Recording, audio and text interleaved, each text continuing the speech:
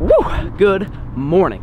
Well, clearly it's not morning. It's actually night, but baby face Flair is back. For those of you guys that hate, hate the old facial hair, it is back and better than ever. And we are headed into Walmart right now with the legend himself. We got Bon's daddy and actually John from MinnDak Outdoors is actually already inside. And today, well, actually yesterday I got back from Mexico and I'm actually pretty sick. Got got kind of a, a head cold going on, sore throat. And uh, we are gonna do a survival challenge. So that's the best thing to do when you're sick is to go lay out in the wilderness on the ground during a snowstorm where you're supposed to get how many? Three to six? Three six inches, I believe, of snow to basically come in tonight, or tomorrow, sorry. Tomorrow, we're getting all the supplies tonight, and then tomorrow we're supposed to get snow. So we want to do an Arctic Blizzard Walmart Walmart challenge. That's at least the goal. What's up, boys? Look who showed up. The traps, oh, you didn't get the suit. No, You just got the big. Oh, it's oh, it's a me thing. thing. A Okay. thing. But yeah, at least you got like you're like half trap I'm like, yeah, yeah. I'm like almost there to like the level that you're at at trapping. I'm like True. down here with Austin. True, An true, true. amateur. Yeah, that- Professional yeah. amateur. Right. True. That's what we're at. Yeah, yeah, yeah. As you guys know, I am a I am a trap lord, so I'm not gonna argue with that. But John, how excited are you for this challenge? Oh, I'm so excited. You're just holding the camera. Oh yeah, I get I get to like stay in the nice warm like car. You guys are doing all the hard stuff. I'm just I'm just gonna hold the camera here and there. So John's gonna film it, so and he's comments good. Yeah, he, he, he's basically wimping out. I'm just kidding.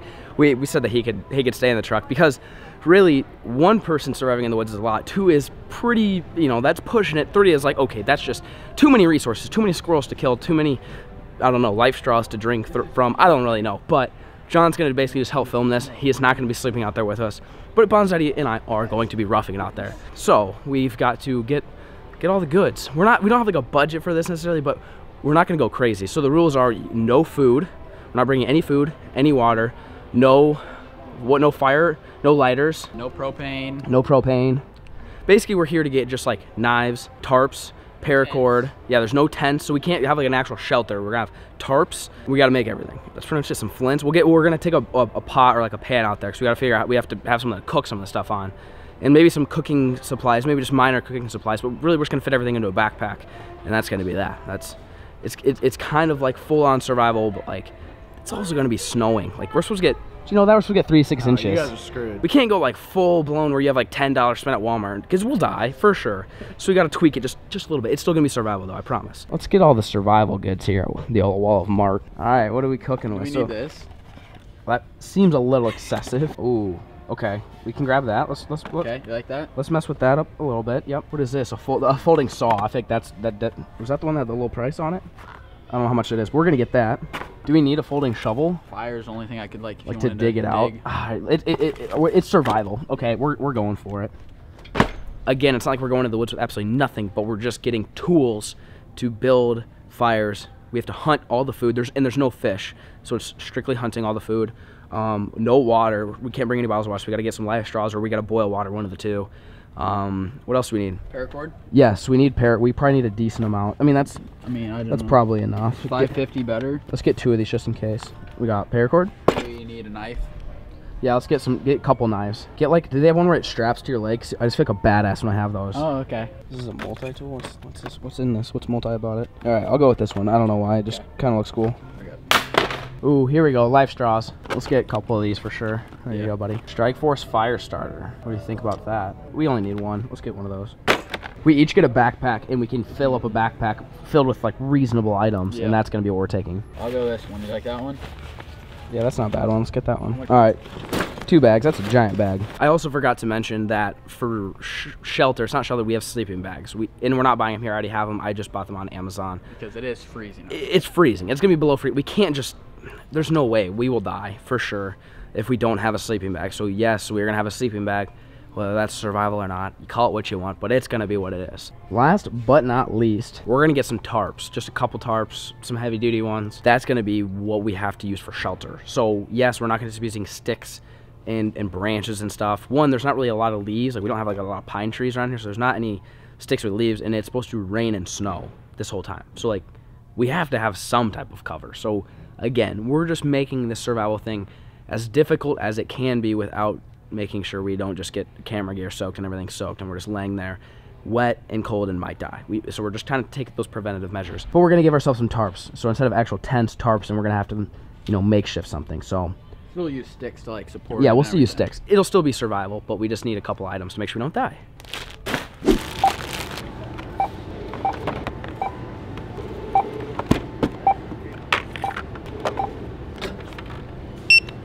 Tomorrow. Is that where we're setting up camp? Yeah. Right there? I think this is good. Dude, this is actually not a bad Got a lot of trees. is this There's just a like stream. a... There's a stream down there if we need some water, which we will. Yeah, we need we need water for sure. Well, we made it.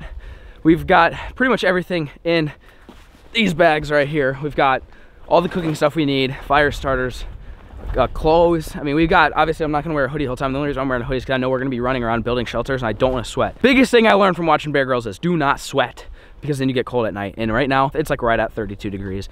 It's gonna be cold tonight and I got even more sick last night. I was coughing all night long, so it's gonna be it's gonna be a dandy. It went from like one to three inches. By the way, the only reason why I'm doing this today, even though I'm sick, is because I've wanted to do this challenge during a snowstorm. And I've been out of town every snowstorm, and this is the first one.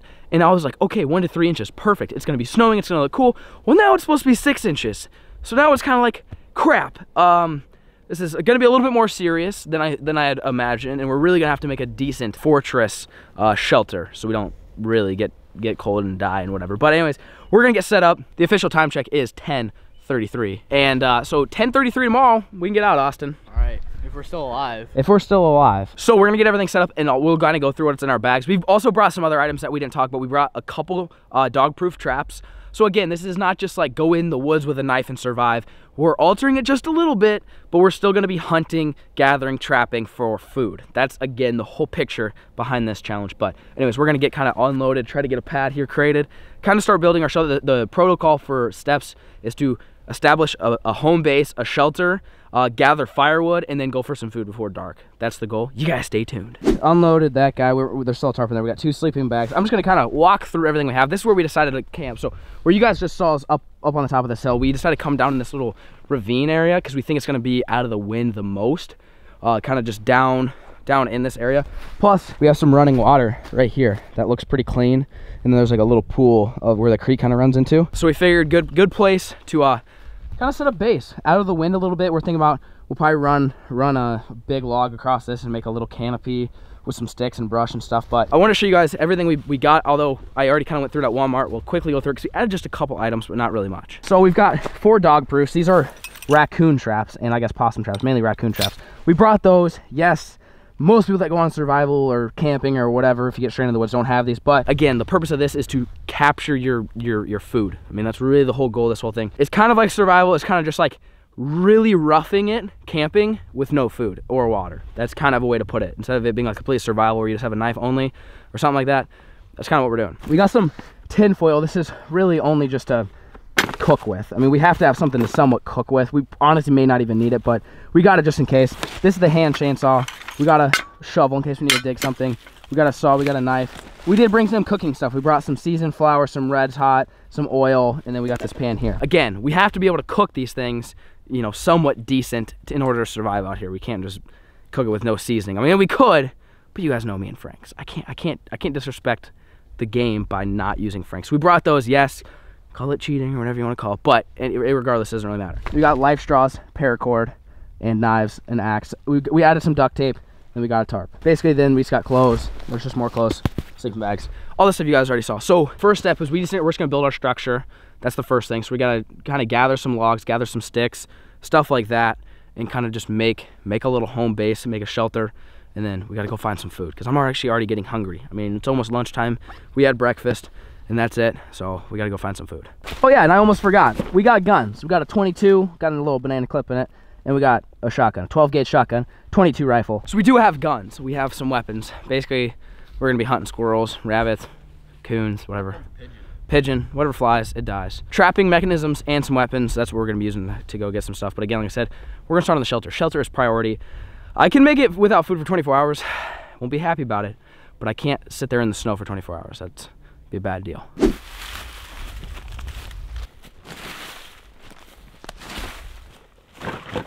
All right, I think let's find the big stick first. Because what we, you know what we could do? We could wedge it in that. See that where that one's wedged? We could wedge one end and then run the other end here, and then and then it's just a canopy where we're all flat. Well, let's try. Let's just try to move a big stick and see how strong we are first.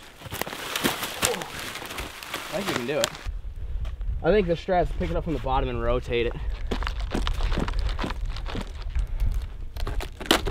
Jesus, Jim. I'm okay. He's gonna die before we even get started. That's it, it's gonna happen. Yep, it's gonna come down here soon. Pick it up one more time. Let me check. Yep. Yep. There we go. Woo! There we go, son.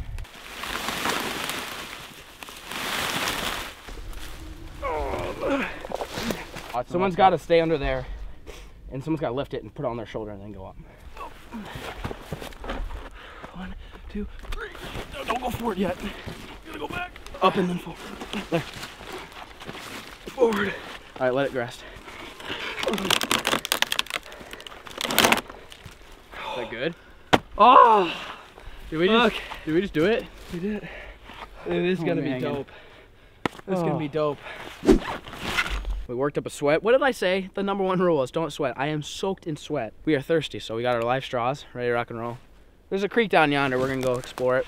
Definitely bring guns. Anywhere we go, we need to bring guns for sure. Found a little crick here. Take a slurp of this. Oh, that's good. Oh, wow. Game changer, life straw. Game changer. Good stuff there, boys. All right, let's go finish the shelter. Well, this is the uh, it's a tarp we have. Now, some of you guys might be thinking, "Wow, this is cheating. It's basically a tent." I mean, it's not really basically a tent. It's just just a tarp. But here's the deal: when when you watch survival videos when people are when it's snowing, they get like evergreens and pine trees and use those. Well, there's there's no leaves. Like we physically could not stay dry in an environment like this if it's snowing and it's actually supposed to go from rain to sleet to snow so i mean it's a bad deal so we got just one tarp this is a 12 by 24 so it's not i mean it looks giant but it's really not that big. We're gonna try to make this into a shelter. I think i've got a pretty good idea of how we can stay enclosed out of the wind warm maybe keep a fire nearby. We gotta see if we can put this thing together quick because we still have no food. We're about an hour and a half in. We got a lot of work to do. This is gonna be a palace, bro. Oh heck yeah. Oh, this is this is good. this is really good. Just hope this tarp is waterproof. All right, so the first step is taking each, this is like the open-ended corner, so we have to secure this. We got our paracord that we bought, and there's two little rivets on this tarp, so we're gonna take this, and all you gotta do is just tie this together. And secure this whole thing, just kind of pinch, pinch this whole thing secure, that way it's airtight. The other side's obviously gonna be airtight, and then we're gonna stake this out, kind of out like a tent. That way the rain and the snow can kind of drape off the side. We'll be good to go. But I'm gonna do this Austin, because we don't know when it's going to start raining. It could be within the next couple hours. Austin's going to go start looking for some firewood. We really got to get that going. Whether we have food or not, we need fire. Otherwise, it's going to be way too cold tonight. So we're stacking up the firewood for tonight and tomorrow because it is gonna snow and rain. So we're gonna get everything and put it under our tarp so it stays dry. So we're just gonna keep picking up some more little twigs and a little more kindling so we can have a fire tonight.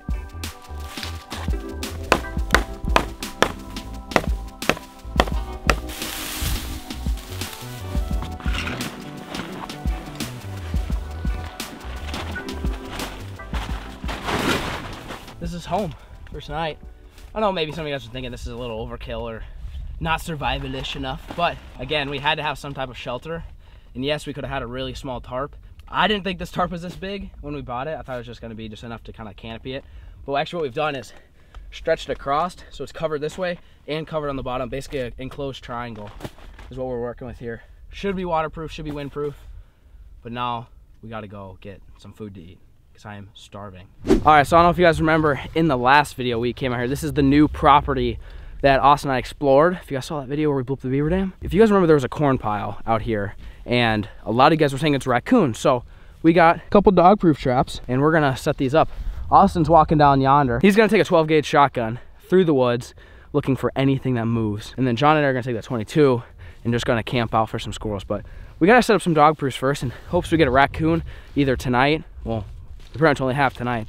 That way we at least have breakfast. At the very least, we'll go to bed hungry, but we'll wake up with some breakfast. That's the goal. So we're gonna set one kind of close to this tree. There's, there's a lot of corn, so set this guy all the way down. And it's important. Luckily, I brought some stakes. I know this isn't like quite super wildernessy, but I mean you can use sticks and stuff. But you definitely want to stake them down, otherwise they can get away. And you want to put these as far down on the ground as possible. And then also what I found is brushing them in has helped with our, uh, our success. So if you just take like little, you know, grass like this, just kind of wrap it around. Just make it a little bit more natural. Now, we didn't bring any food at all, even for traps like this. So we're going to go look for some corn. Looking for the corn, corn, corn. There's some corn. There we go. That's what we're, that's what we're after out there, son. Get that corn all in that. You pretty much spread it around, but you want to get some down in there. That way, pinches their little paw. You guys haven't seen any of these videos. I got a lot of videos doing this stuff, but this is called a dog proof. That looks about right. And then I'm just gonna just sprinkle it all around, just like this,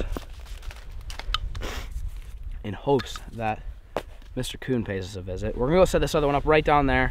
Our camp's, I don't know, quarter mile that way, and we'll come check these in the morning. We got easy water, easy access to water, a food pile, obviously they've been using, and uh, I don't know. Again, this is like kind of the last resort. If we don't get anything tonight, hopefully we'll have some breakfast. Looks like it's gonna be pretty bad. Right now, we gotta go shoot some squirrels, gotta go shoot some rabbits or some pigeons, something. We gotta eat something, otherwise it's gonna be a long night. We finally made it.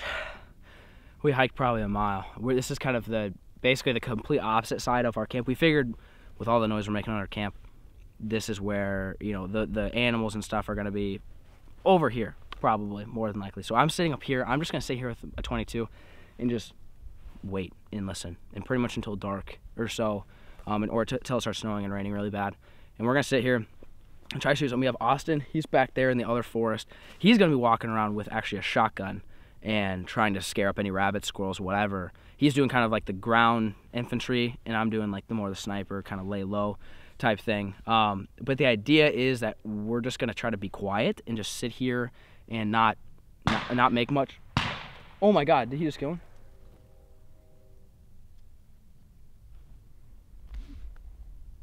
Dude, let's call him. Let's call him. Yo. Yo, it. did, did you just shoot something? I got dinner. No, you didn't. I'll bring it to you. Dude, that literally took like five. I just, I was literally just telling him that we just sat down. Yeah. Oh. Was, you won't believe it. I'll come over to you. I, I think I know where you are. Okay. All right. See you in a bit. Oh my gosh. I wonder what he got though. So he it had to be like I get it's got to be a rabbit. I mean that's the only thing that there could be. See the thing is the squirrels we haven't seen any squirrels right now. We've seen some rabbits though. I'm guessing he just he just stirred up a rabbit. But he says we have dinner, so that's good. At least we're gonna have something to cook tonight. No idea what it is, but he's gonna come over. He's gonna walk over here and show it. We're still gonna kind of sit here and, and wait. I don't know. Even if it's a rabbit, that's it's not that much food. We're, I mean, we probably need a little bit more than that, but we'll see what he has. All right, so right now we're gonna go see what Austin has. I'm I'm actually pretty excited to see this. What do you got, Big Jim? Oh my gosh! No, how did you even kill that?